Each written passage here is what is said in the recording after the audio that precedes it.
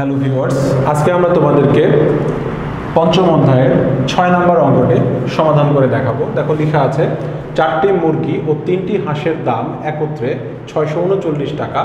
একটি হাঁসের দাম পঁচাশি টাকা হলে একটি মুরগির দাম কত? এখন প্রশ্ন হচ্ছে, এখানে চারটা মুরগি ও তিনটা হাঁসের একত্রে মূল্য দেওয়া আছে। এখানে একটি হাঁসের দাম দেওয়া আছে।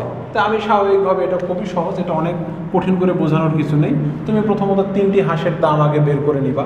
তাহলে কথাটা কীভাবে লিখতে পারো? লিখতে পারো যে তিনটি হাঁসের দাম সমান। দেখো, এখানে আছে হচ্ছে একটার দাম পঁচাশি টাকা, গুণ তুমি তিনটা বের করবা, এত টাকা। গুণফলটা বের করে দাও।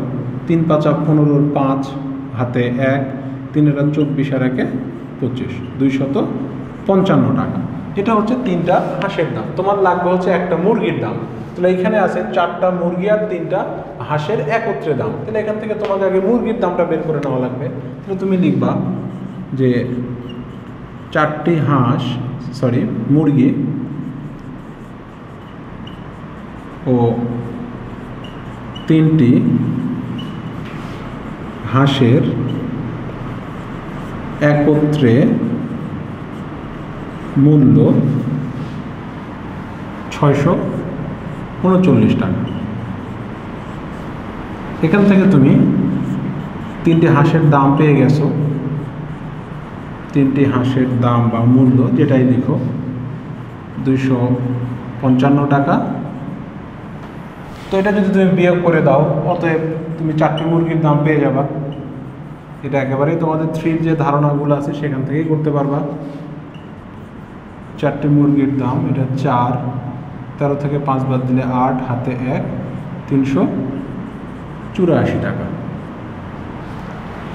দেখো, আরেকবার বিয়োগটা ঠিক আছে কিনা? নয় থেকে পাঁচ বাদ দিলে চার, তেরো থেকে পাঁচ বাদ দিলে আট, হাতে এক, তিন তিন। ঠিক আছে।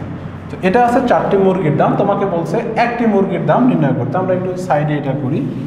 অতএব একটি মুরগির দাম, তাহলে চারটার দাম ছিল হচ্ছে তিনশো চুরাশি টাকা, ভাগ দিবা চার দিয়ে সমান এত টাকা। ভাগটা তুমি সাইডে এখানে লিখে দেখাই দিলা। তিনশো চুরাশি। আমি আন্তর্জাতিক পদ্ধতিতে করলাম। তুমি চাইলে দেশীয় পদ্ধতিতে করতে পারো। তাহলে চার নং ছত্রিশ, দুই, চার ছয়, চব্বিশ। তার মানে ছিয়ানব্বই টাকা। অতএব একটি মুরগির মূল্য ছিয়ানব্বই টাকা। তো এই অঙ্কটা অনেক সময় সৃজনশীলে আসে, বেশি ইম্পর্ট্যান্ট একটা অঙ্ক। তো এখানে তোমাকে এরকম দিয়ে দেয় যে তিনটি হাঁসের মূল্য কত? চারটি মুরগির দাম কত? একটি মুরগির মূল্য বের করো। অথবা এরকম দিয়ে দিল অনেক সময় যে চারটি মুরগির মূল্য দিয়ে কয়টি হাঁস কেনা যাবে? এরকম প্রশ্নগুলো তোমাকে এখানে সেট করে দিতে পারে। তো আমরা পরবর্তীতে যখন যোগ্যতা ভিত্তিক প্রশ্ন আলোচনা করব, তখন এর সমাধানগুলো তোমাদেরকে দেখিয়ে দেবো।